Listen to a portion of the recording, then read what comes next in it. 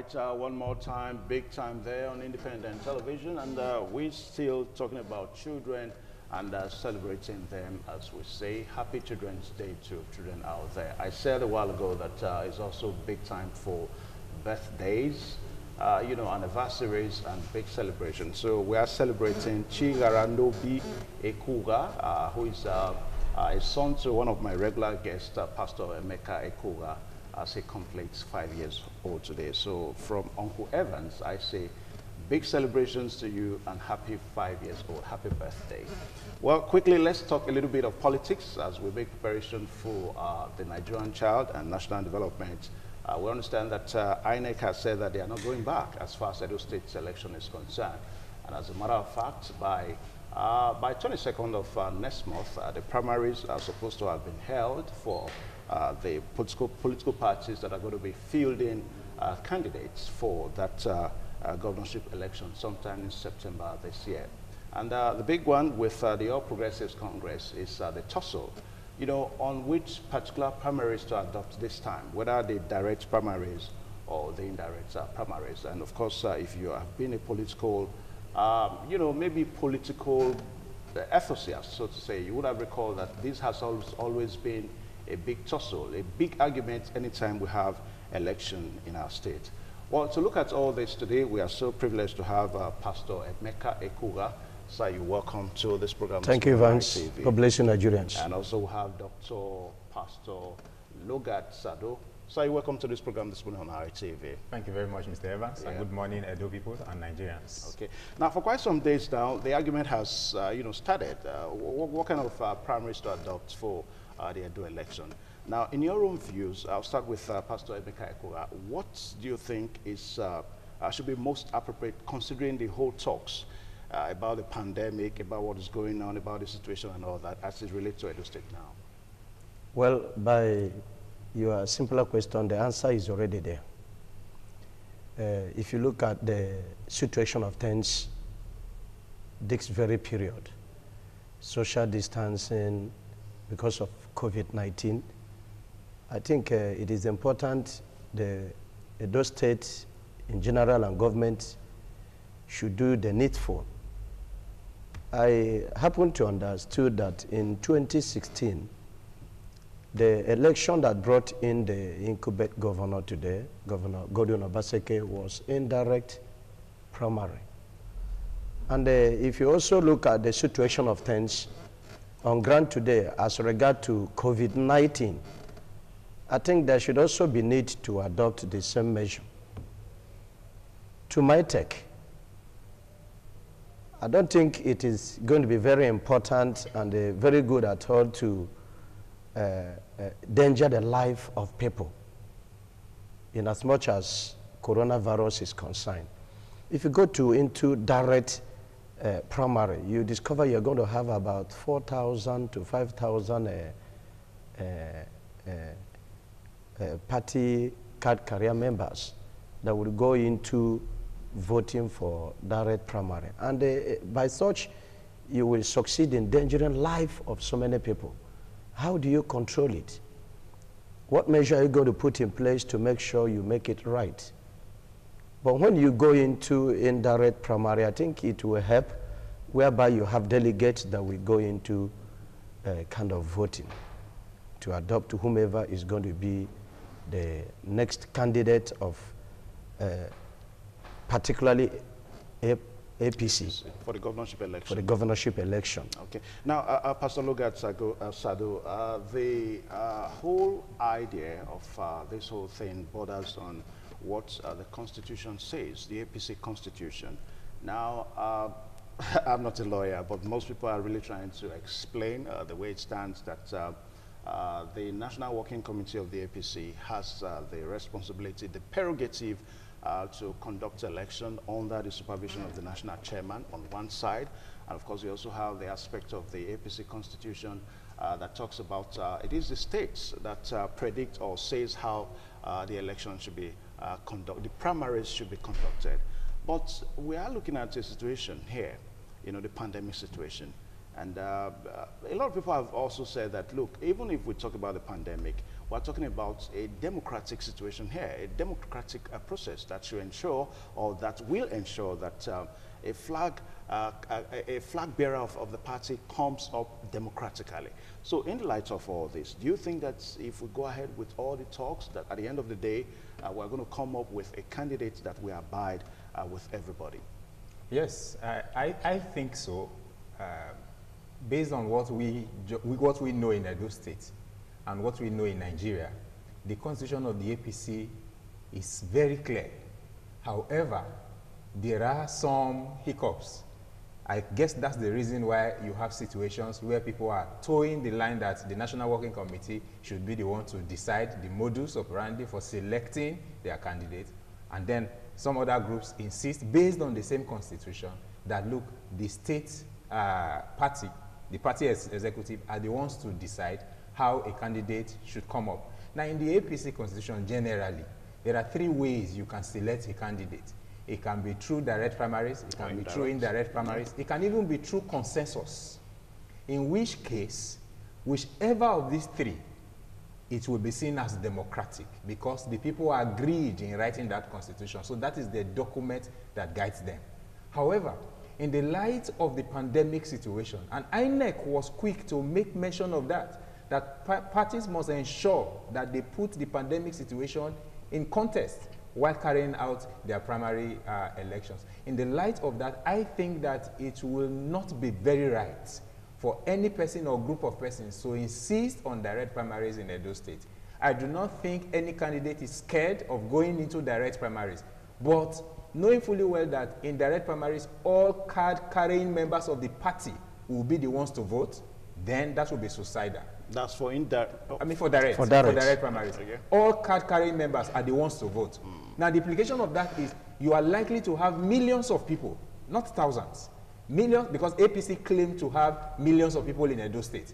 So you are likely to have at least a million, 1.5 or 2, 3 million persons coming out to vote across the various 18 local governments in Edo State. Yeah, that will spell a lot of doom. Yeah, advocates of what you are trying to explain, I have also gone for that to try to explain it. That look, this does not necessarily mean that um, uh, we're going to have people gather together the way it's going to likely to be for indirect uh, primaries. Now, we're talking about uh, uh, an election that if it happens to be a direct primary, it's going to be an election that you're going to have uh, people coming from their ward units uh, to local government units and all that. And this is going to mean that people are going to come out in a smaller unit compared to when we have an indirect uh, primary. Not, not at all, not mm. at all. That is not correct. We have seen direct, let's use the case of Lagos, Ambode's case as a typical example. And then you will notice the people who came out to vote were in their thousands. Some local government had 18,000, some 19,000, as the case may be. So it is not in indirect primaries, you are going to have delegates. And the delegates are going to speak on behalf of their people. So the people will choose their delegates. It is still very democratic because in indirect primaries, no, no individual will wake up from the street and decide that he's the one representing his ward or constituency. He also will be chosen by a group of persons within that ward or constituency so that he will have their mandate. So his one vote may be equal to 15,000 votes. By so doing, you are minimizing contact with people and you are reducing the possibility of the spread of this coronavirus, except what people have been saying is true, that the virus is a lie. Mm and that it is political. If government goes ahead and if the party goes ahead insisting on direct primaries, then it may lead to asking lead to a, a situation where we begin to ask questions, not just to the political party, but to NCDC, to the presidency itself, to say, look, you have told us that we should not go to churches, we should not go to mosques because of the possibility of the spread of this virus. In fact, you have moved marketplaces from their traditional marketplaces to open market squares so that so as to allow ventilation and reduce the spread. How come party election or party primaries will now be an exception. Of course, Nigerians are going to ask questions. And that in itself could spell doom for the country because once people begin to cast aspersion on the integrity of public statement made by the government, then you can be certain that Nigerians will take laws into their hands. And of course, it will be like the old Bible saying, to your tent, O Israel. Okay. Now, uh, Pastor Emeka Ekuga, do, yeah. do, do, you see the possibility of uh, maybe some politicians trying to hide under uh, the uh, pandemic situation? Uh, because some people have said that, look, this is another test to perhaps test how popular you are. Uh, so instead of trying to hide under a situation, why don't you uh, leave it the way it ought to be, the way the Constitution says? Well, of course, you've just said something very important here.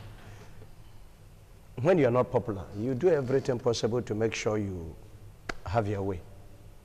That's just the truth. And uh, the other time we talk about corruption here. There is nothing in Nigeria we do, corruption is not involved. Whether direct or indirect, there is no way it's going to be very, very clear. There's no way you would come and tell me here uh, the, the uh, primary of uh, uh, election that brings in a governor in a particular state is just free and fair. In Nigeria, we have not gotten to that. I just thank God because I overheard something about the INEC conducting 2021 elections on uh, electronic media. That'll be 2021 next year. 2021, election. next year. I had something like that. You know, we've been advocating for this each time we come on this platform. We keep telling INEC we need to grow, we need to come up, we need to do something like a country that is civilized. And until we got, get to that point, begin to manage it, there is no way we can get free and fair election. If there, there is no doubt that some, some candidates were hired under this pandemic to you know, agitate for whatever uh, mood they want for this uh, primary election. But that notwithstanding, mm. that the truth must be told. And uh, like what uh, uh, Dr. Sado just said now, if churches can be closed, mosque can be closed, and the markets are being relocated from main market to schools, and the shops are closed, people are just in social distancing in a way suffering too. And they get to primary election and you are, you are asking everybody to go into the field and vote. I think it is uncalled for. All right, so you're advocating for a, an indirect... In, as long as the pandemic is concerned, it should be indirect primary. Okay, but we should also bring to mind that even for the indirect election, we're also looking at people gathering in a place also uh, the, uh, it's not as if we're going to uh, not going to have crowd at all. Yeah, but it could be it could be controlled. Okay. In the, we, today we have churches going on. Mm. They didn't shut down churches. Edo State in particular didn't shut down churches. They would tell you operate in 20s. Mm. Don't be more than 20s. Mm. And it has been always been managed. Less than one hour, a particular ministry must have finished a service. Another section comes in, and it has just been like that. So if in indirect primary, you can also manage the, the, the number of people. Of course, it's going to be on delegates. Indirect primary goes on delegates. It's not going to be a general something. Okay. Now, uh, uh, Dr. Sado, let's uh, look at one uh, recent development. Uh, there's no doubt that uh, the APC is polarized in Edo State. And as we speak now, we understand that a certain faction has adopted a certain you know, politician that will flag uh, the flag for the APC in that uh, in their own fraction. Yes. Now, uh, the wonder is how far can we go in this whole uh, you know, uh, situation in the light of the, uh, the, the, the 2020 Edo State election. Now, you have people coming, group of people saying that, look, this is our own consensus candidate. And of course, these same people are agitating for that, look, let's have a direct, you know, primaries. Now, if you guys know that you guys are going to have it, that, that if you guys are advocating for a direct primaries, that's all card-carrying member of APC should come and vote. Why should you go ahead to adopt a certain candidate? That's a big question. Exactly the point. The question begging for answer is that the party itself is in trouble. APC needs help. Unfortunately, it appears the party is not aware. Well, that's not, that may not just be APC. Most of the parties. No, no. Well, uh, the, the, scenario yeah. you painted is that of APC. Yeah. As it stands, I think our discussion is centered around the APC. Mm -hmm. Now, I'm not a card carrying member of any political party. However, based on what I see on ground, like the Bible says, a house divided against itself cannot stand. And you know, on this platform, I advocated several months ago on the need for the two warlords to bury their hatches and reconcile because it will, be, it will not be only in their interest, it will be in the interest of Edo State and of course the residents of Edo State. What you have said is very clear. You are insisting on direct primaries and yet you have adopted a consensus No, I- I- candidate that is already. not a categorical No, statement. I- I, don't have an any. I don't have any. I agree. position Any proof to that? this, uh, However- but, I'm only just trying to do my However, job. yeah. that creates that will create a bad blood. It will create suspicion.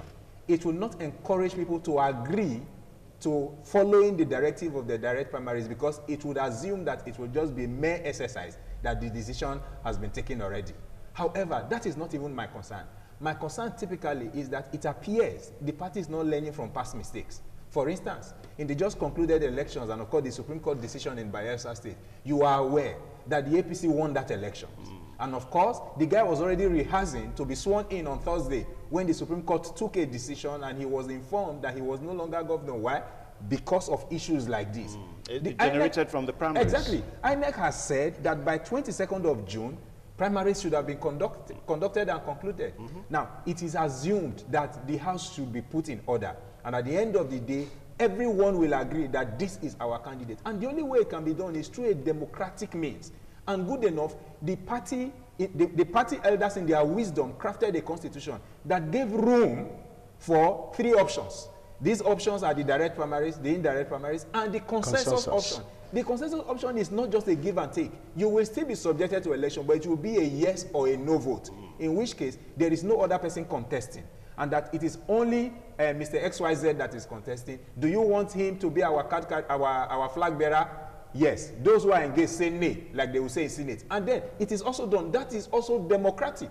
So to that extent, the APC has very strong opportunity to make sure that they keep their state. Now, we are not saying that if they did their elections well, primaries well, that they, were, they are going to win the general election. That's not what we're saying. But that they should be on a level playing ground such that whatever the outcome of their primaries will be, it will not be subject to another legal or li- any uh, another litigation that may upturn their victories in, in case they poll, win yeah, the elections yeah. and then they will be able to sustain themselves. Having said that, it's important that the party must understand that Edo State is bigger than any political party. Therefore, whatever anyone is doing in the name of any political party must look at the big picture and must understand that, look, they are playing with lives. They are playing with the destiny. Beyond the health issues associated with direct primaries, mm. we are talking of, if you like, the toggery that may soon be associated with all of this, mm. the name calling, the, and of course, maybe political assassination and things like that. These are possibilities in a heated political scenario.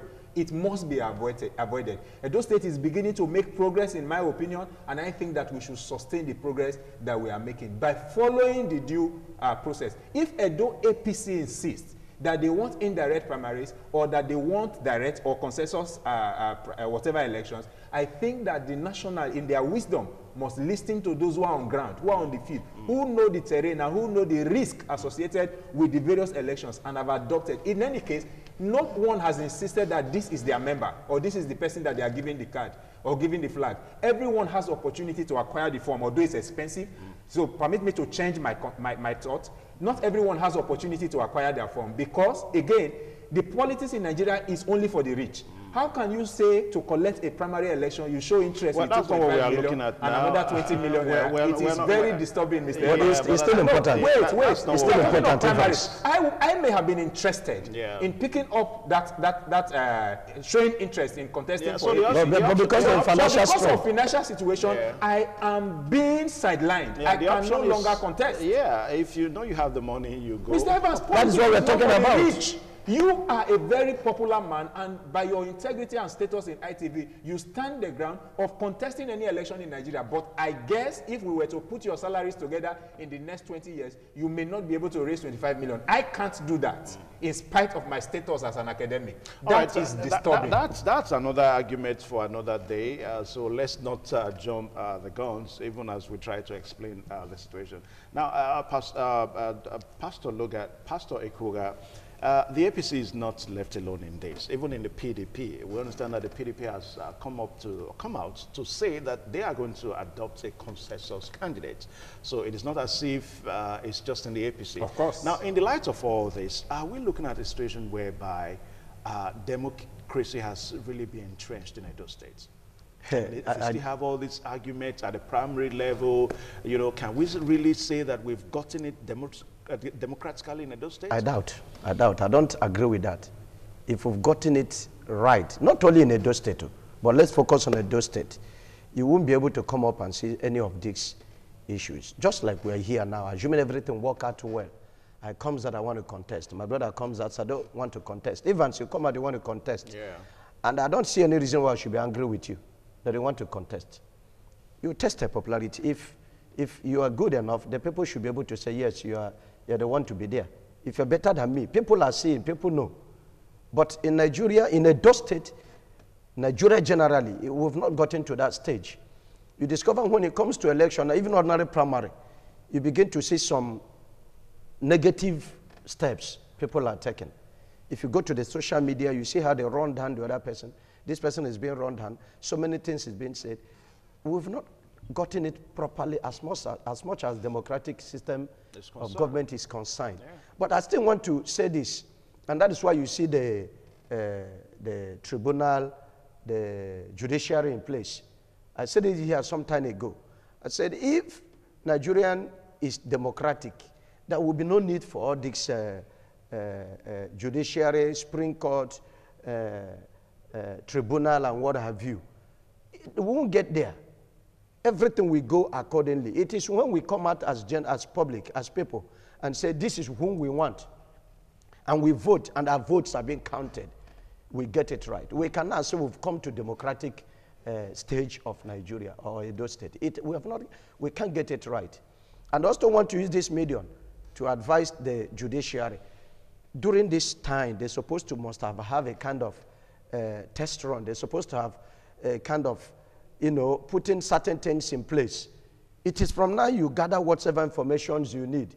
In case if at the end a lot of somebody says, I'm going to court, you should be able to know why you should say this person win or this person didn't win. Well, that would be, you'll be preempting the mm -hmm. courts. I mean, the, the lawyers, the judiciary, they act on uh, facts available to them at any point. So even if you gather anything now, they may not be tenable. But, but that should be a study case. Mm. Just like the INEC now, is, INEC is watching. You see what is playing here.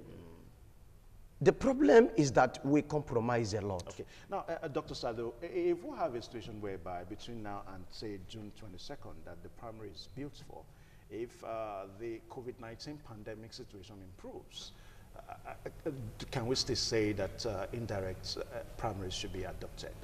Exactly. The premise on which we are saying no the premise on which I am saying no is the pandemic situation. So direct primaries yeah, is, the, the pandemic, pandemic, situation. So if now, it improves, if it improves, why not? They should go to the field and test their popularity.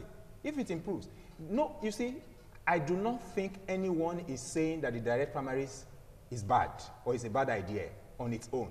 In fact, it is the most democratic of the three options in their constitution. Now, Dr. Sado, the reason why I'm saying this, the result from the NCDC most recently is very worrisome. Disturbing. A lot of people still don't believe that, look, these results are actually, uh, you know, uh, coming out. I mean, some people begin to believe that it's possible that politicians are beginning to collide with uh, the NCDC in order for them to take advantage of the situation. What, what are your thoughts on this? Well, my thoughts are quite clear on that. As a person, I think that our statistics are underreported. Underreported? Underreported. So you mean we can, there's possibility for us to have We are not results? testing. We're not testing. It's obvious that we're not testing. As at last week, we have tested only about 16 or 17,000 as a nation. Mm. Whereas in Ghana alone, they've tested over 200,000. So we are not testing. Uh, you see, our statistics are underreported. For instance, how do you explain a situation where you have told us community transmission and all the likes. You mean in Edo State? Yes, I'm painting a Underreported in Edo States?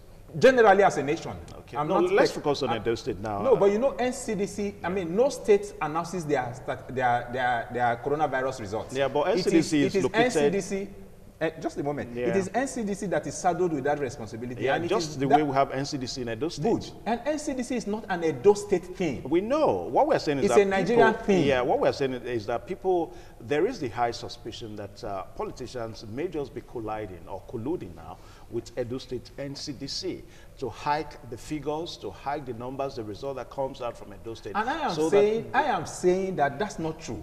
I am saying that, in my opinion, that the figures are even underreported.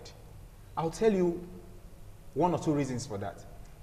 You will understand. I know that elections are very important, but you will understand that we ought to have hosted the National Sports Festival by now. Certainly. But of course, because of the reality Of the pandemic. of the pandemic, those people in their wisdom thought it wise to shift it. Mm. Nobody cried foul at that. Nobody said Edo State had figures or inflated figures or whatever. As at that time, I think we didn't have a case or we had one or two cases. But as at now, we are running close to almost 200. In fact, I think by today, by the, by the time the figures are out, we may have hit 200. How are you sure that figures will be out today? Definitely. NCDC comes Why- out with why- results on a daily basis. That's what I meant. Why don't you just wait? No, we will wait. but you see, results statistics are meant not only for now, but for predictions. Yeah. And I can predict that, look, if we had 25 day before yesterday, and as yesterday, as at yesterday, I do not think we had any figure because it appears the figures for Edo State come in in alternate days. Hmm. So I am definite that we may have results, Results today. today. Now, if we go by that, then it will be very disturbing. All right, now- Understand? just let, let me let Yeah. me close on that. That's it. in Nigeria, hmm. we had the index case, which was just one person, hmm. in less than three months ago, they blew. And it's blown beyond About our. 8,000 plus now. In Edo, in Ego, as at the last time I followed, we were told that we had about three or some cases in Edo. I mean, in Ego. That was at, at the time we had just 60 something in Edo State. You can imagine if Nigeria had one, we are now running into tens of thousands. Imagine if Ugbo has one, the cumulative effect it will have on several persons. So right. this pandemic should not be politicized. Okay. Now, uh, uh, uh, Eko, uh, what are your final thoughts, quickly? Well, let me quickly say the APC as a party, it's not too late to put their house in order.